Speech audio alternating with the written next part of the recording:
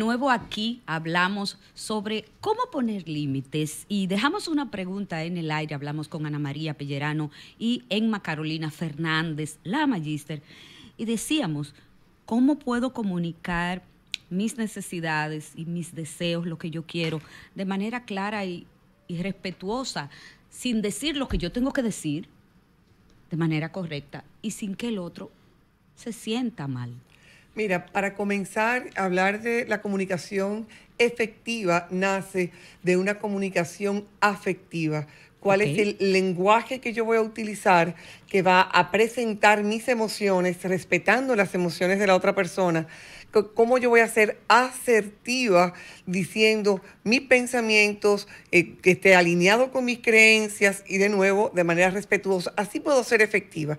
Sin embargo, antes de pasarle la palabra a Ana, que va a explayarse más, quiero motivarlos a ustedes a conectar con el poder de la palabra. Robin Sharma nos habla y dice, tus palabras pueden estimular a otros o destruirlos. Las palabras pueden inspirar las palabras pueden destruir. Escoge tus palabras. Y es que el tipo de palabras, junto con los gestos, la intención y el propósito de las mismas, va a impactar, no solo si es efectiva eh, esa comunicación, sino verídicamente esto va a fluir porque la comunicación no es que yo vomite, la, comunicación no es que yo diga todo lo que a mí se me ocurre, la comunicación no es todo lo que yo necesito y quiero, lo solté y ve a ver qué tú haces con eso. Eso no es comunicación, eso es fluir a donde Ana para que le explique cómo que lo van a hacer. ¿Y qué es, Ana María? Comunicar es eh, eh, en, en este contexto que nosotros estamos conversando, es precisamente yo poder decir y mostrar cuáles son mis necesidades y hasta dónde yo permito X, lo que sea, sea mi relación de trabajo, no sé, por ejemplo. Eh, vamos a poner trabajo para quitar un poquito como la parte de los padres. Dale, dale, pues. O sea, un jefe que siempre a la hora de salida, pues necesitan cuando están con la cartera en la mano que sea eh, en ese momento eh, es que necesita algo más. Es una cosa, tú dices como que de un día, otro día, pero todos los días, como que sea siempre igual. Hay, hay límites que manejar eh, dentro de ese, de ese proceso. Y, pero más que todo, cuando yo empiezo, cuando yo parto desde mí, pues tú le puedes decir a un jefe, usted sabe señora Ana Andrea, que cada vez que eh, yo cojo la cartera, siempre me, pide que me quede cuando es ya mi hora de salida. ¿Usted cree que lo podríamos dejar para ver eso mañana por la mañana, cuando lleguemos temprano? ¿Hay algún motivo de ofensa? No. Ni ha, sido, hay que ser irrespetuoso. No. Porque lo que a veces sucede es que no nos gustan las cosas y empezamos la queja. Tú sabes lo que es esa jefa del diantre, con tema que me, que me ve, que, yo cojo la cartera para que venga a decirme cosas. Que, es, que la mayoría de la gente. Sino a mí. ¿eh? Que la mayoría de la gente, que lo que hacen, nos quedamos en queja, queja, queja, queja. Y cuando Emma habla de la comunicación asertiva, nosotros lo que tenemos es ampliando un poquito o concentrando sería la palabra, concentrando desde mí para yo explicar o exponer cuáles son mis necesidades y desde ahí decir, esto es lo que yo permito. Porque si tú tienes una, una casa, por ejemplo, la casa tiene una verja, un límite, ¿verdad? Que es de donde, de ahí para allá, esos son los otros. Y si se quieren incomodar, pues... No pasa nada. Tú no puedes hacer nada, ¿no? Eh, va a tener dos problemas, subirse y bajarse. ¿Cómo yo reconozco mis propios límites? yo. ¿Cómo lo hago? Me encanta. ¿Cómo lo hago? Mi amor, fíjate qué pasa. Dele, He decidido que voy a hacer este ejercicio en todos los programas que yo vaya. Por favor, por favor, todos los presentes, párense. Cámaras, atento, por favor. Todos los presentes, párense. Ok. Todo el mundo se paró. ¿Ok? Me, están cortando la cabeza, ¿verdad? Pero bueno, ¿qué vamos a hacer? Ok. Ah, muchas gracias. Gracias por no cortarme la cabeza. Estamos de pie, Magister. Aquí de pie. Ana María, Jennifer. Ana María, Ana María acaba de decir que una verja es un límite. Y yo les dije al principio del programa que un límite es una línea imaginaria que muchas personas no ven. Entonces tenemos el límite que es la verja y tenemos la línea imaginaria. Vamos a hablar de cómo yo puedo reconocer mis límites, comienzo desde el yo.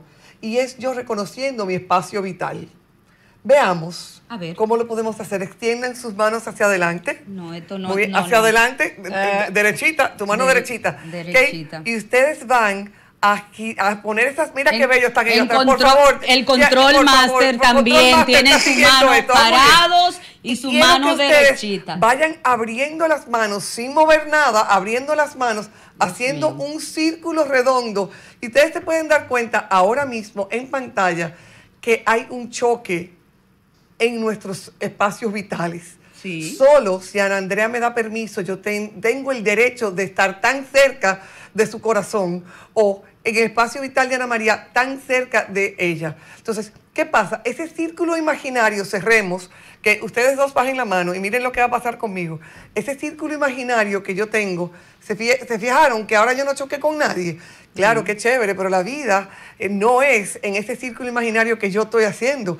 Están otras personas. Sin embargo, al momento de que yo reconozco mi espacio vital y establezco, ¿tú sabes qué? Para tú cruzar ese espacio necesitas pedirme permiso. Para yo oh, cruzar mi espacio hacia el tuyo, a mí me toca pedirte permiso. Entonces, sin embargo, lo primero que necesito es mirar hacia adentro y darme cuenta cuántas veces yo me he puesto límites y hablemos de alimentación por un segundo, alimentación fit. Ay. He elegido que ya no voy a beber gaseosas francamente. No voy a beber gaseosa por tres meses. Tú sabes que el diablo no duerme y arrancan a invitarte a todos los cumpleaños. No, el demonio es sucio. El demonio es sucio. Es sucio. Y yo digo, bueno, pero nadie se va a dar cuenta que yo me beba este refresco hoy. Yo, yo estoy haciendo las cosas para que otras personas, volvemos al locus de control, de que otra persona me está viendo, o yo estoy haciendo porque esto me suma y me conviene a mí. ¿Cuántas veces establezco los límites hacia mi persona y yo mismo los rompo. Si yo los rompo, ¿por qué otro tiene que respetarme a mí? Ay, ¿dónde más, Ana María Pellerano? ¿Dónde más? Yo creo que eso va en, todo, en todas las áreas de la vida. Y no nos damos cuenta, em, por ejemplo, los papás que quieren cooperación de parte de sus hijos. Sin embargo, sucede mucho que nosotros no hacemos lo que le estamos pidiendo y exigiendo a los muchachos. Entonces, eh, eh, la coherencia y la integridad en lo que hacemos y decimos repercute en lo que modelamos y, mostramos a, a los demás. ¿Cómo yo aprendo a prevenir y manejar los conflictos? se aprende, hay alguna técnica, oh, se maneja. pero claro que sí. Cuando Ana María y yo nos planteamos hacer una masterclass del manejo de los límites, más que el manejo, porque no es el manejo, es cómo yo puedo ir forjando límites desde el amor. Estamos hablando de yo desarrollar la capacidad de anticipar situaciones que se pueden presentar. ¿Tú sabes lo que eso implica? Que yo pare, que yo piense y luego yo actúe con mucha frecuencia las personas piensan, actúan. De una. O sea, ¿dónde está el que yo pare? Vamos a parar. Entonces yo voy a dar un paso hacia atrás. ¿Qué es lo que está ocurriendo a mi alrededor? ¿Cómo me estoy sintiendo yo al respecto? Entonces, en ese momento de yo parar y hacer ese análisis de lo que está ocurriendo, yo vaya aquí a la cabeza, ¿qué tipo de alternativas yo pudiera fomentar antes de que si yo respondo así, si yo respondo de manera impulsiva, la respuesta que va a ocurrir es esta, esta, esta y esta. Entonces, el yo ser capaz de darme cuenta de lo que puede ocurrir cuando yo hable de una manera o hable de otra, va a permitir que yo prevenga, porque mira, la mejor manera de manejar un conflicto es previniendo el conflicto. No, y algo como queriendo tomar el, ejemplo que tú pusiste en cuanto a la, alimentación fit. Eh, si tú no comunicas por ejemplo, en tu casa, de que tú no vas a, no vas a consumir refresco, lo que sea, ¿verdad? Pero tú, eso está en tu cabeza, pero tú no se lo dijiste a la otra persona que también va al supermercado a hacer la compra. Necesito apoyo y esto es algo que, que quiero hacer. Entonces, si yo no lo comuniqué, eh, pues es muy natural que el, el, marido, el hijo, el esto, todo vayan, compren, hagan, tonen, y tú estés dentro de una estructura que no te apoya para hacer lo, lo, que quieres.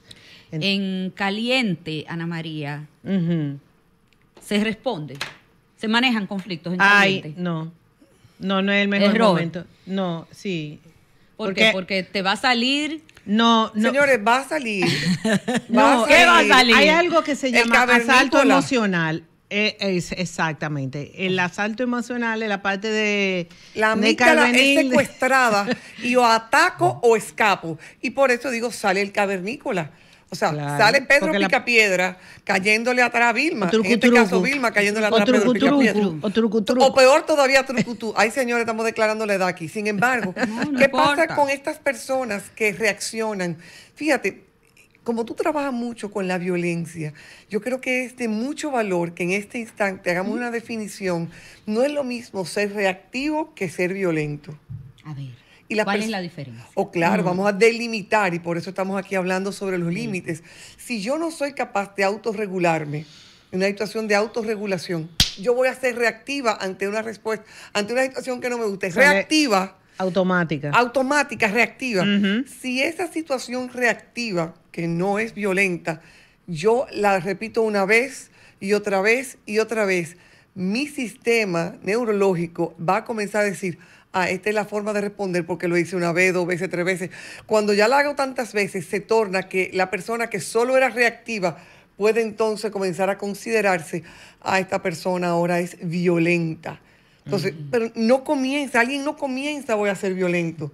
Alguien comienza con yo voy a ser reactivo. O ni comienza pensándolo, es reactivo. Dice, dice mi querida eh, cuñada, dice, lo monté los monstruos no nacieron monstruos, nacieron monstruicos y era que había que parar. Ejercitar eso. Ejercitar y experimentar las consecuencias. ¿Y cómo yo me aseguro de que mis límites eh, sean realmente respetados o que yo poder aprender a manejar mis emociones? Ustedes saben por qué, porque yo las estoy escuchando a ustedes Ajá. Y sé que ustedes están en lo correcto, pero en la vida real, cuando llegue ese momento, cuando llegue ese momento que tú estás frente al conflicto, es a veces un poco difícil. No, un poco no. Mucho, mucho. Mucho. mucho, está Bien, está bien. Mucho, mucho. Gracias, Magister. Es mucho. Es muy difícil. Con demasiado a veces. Con demasiado. Muy bien.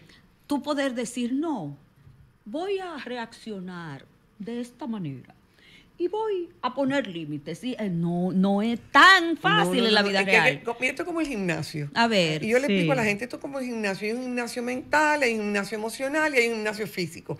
Cuando yo voy al ah, gimnasio... yo no sabía eso. Para que tú ah, veas. Claro. Cuando yo voy al gimnasio físico, los primeros dos o tres días y esa segunda semana, tú sientes que partes de tu cuerpo que antes ni existían, tú las sientes Vamos ahora al aspecto emocional del gimnasio mental. Esos sentimientos que tú antes, verá, que la parte física, pero resulta que hay emociones y sentimientos que cuando tú te manejas normalmente en tu ambiente, de dispararte, de coger la cuerda, o sea, eso es lo común en ti. Cuando yo me toca comenzar a explorar, eh, déjame respirar, decirle a un hijo mío, y esto es verídico lo que yo voy a decir, yo tenía la mano con el puño, pero con el puño yo no venía a darle una galleta al hijo mío, no, era con el puño, yo me acuerdo ahí con, con, la rabia entera.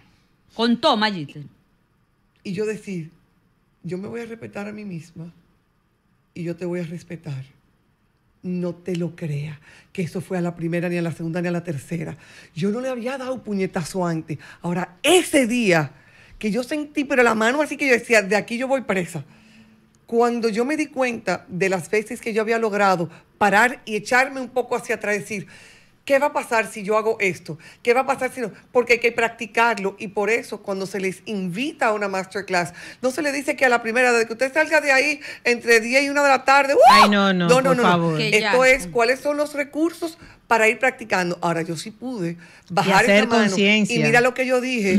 Yo no dije, yo no te voy a dar porque yo te respeto a mi hijo. No, no, no, no, no. No fue así. Yo dije, yo me voy a respetar a mí misma y te voy a respetar a ti.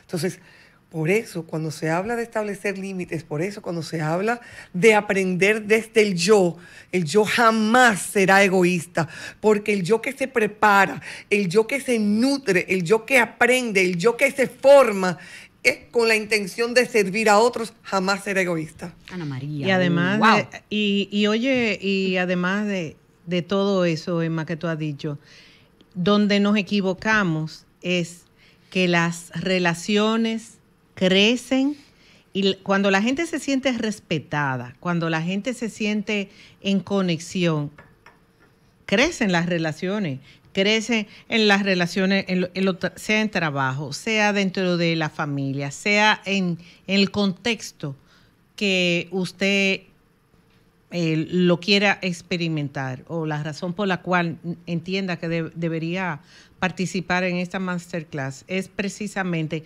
enriquecer la, las, la, la vida de las personas. Porque hablamos de la salud mental, la salud mental, pero la salud mental no es como un...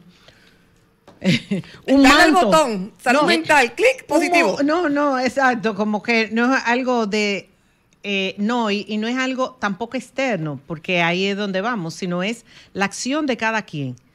Eh, esa frase de María Teresa, de la Madre Teresa de Calcuta, de, tú quieres cambiar el mundo, Cambia comi- tú. ca- Comienza por ti. comienza en tu hogar. Comienza Entonces, creo que ahí está la diferencia.